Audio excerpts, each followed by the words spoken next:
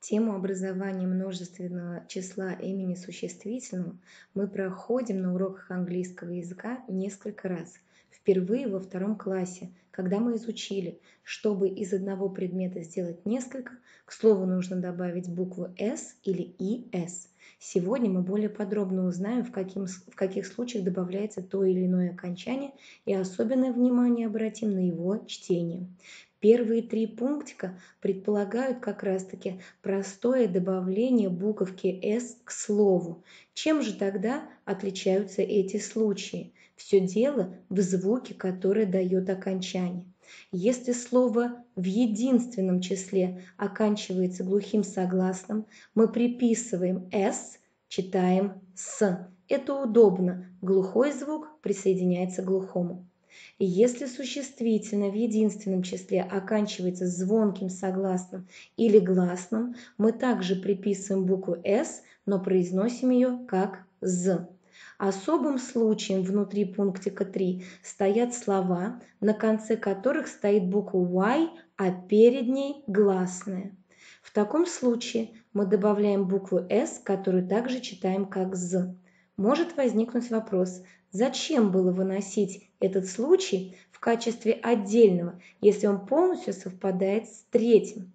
Когда доходим до четвертого пунктика, нам становится ясно. Если э, слово оканчивается на буковку Y, перед которой стоит согласное, действуем мы уже иначе. Дописываем слово до буковки Y. Когда доходим до нее, вместо Y пишем I и добавляем уже окончание ES. В этом случае оно произносится как из. То есть, обрати внимание еще раз, буковка Y является особой. Если перед ней стоит гласная, правило стандартное. Если перед ней стоит согласная, происходят большие изменения. Y на I добавляется ES. Случай пятый является частым и полезным.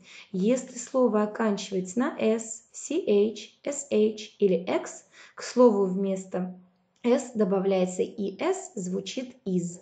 Эти буквы и сочетание букв необходимо запомнить, поскольку они э, и данное правило действует не только на существительные, но и на глаголы. Наконец, шестой случай похож на четвертый.